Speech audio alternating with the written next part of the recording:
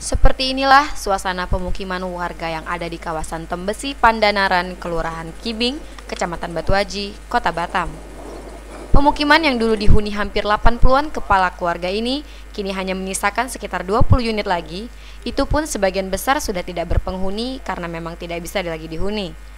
Belasan rumah yang tersisa ini sebagian besar terlihat sudah hampir terbenam oleh tanah timbunan, bahkan ada juga yang hampir tenggelam oleh banjir dari aktivitas penimbunan. Ahmad Sudarmo, Ketua RT 03 RW 01 Tembesi Pandanaran menyebutkan, tindakan yang dilakukan oleh PT Glory Point tidak manusiawi. Pada tanggal 10 Juli 2018 lalu, pihak pengembang mengobrak-abrik sebanyak 14 rumah milik warga menggunakan alat berat tanpa memberikan ganti rugi, walaupun mereka sudah tinggal di lokasi ini selama puluhan tahun.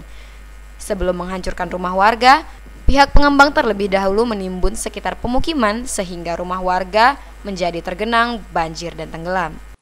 Ini penimbunan sejak mulai hari Selasa tanggal 10 pengusuran paksa tanpa penggantian rugi terhadap masyarakat. Berapa rumah? Kalau yang digusur paksa di sini adalah cuma 14 kakak. Hmm. Yang lainnya belum digusur. Yang lainnya belum, yang lainnya baru peringatan. Digusur paksa seperti apa caranya? Caranya diobrak-abrik dengan alat berat. Menggunakan alat itu adalah beko.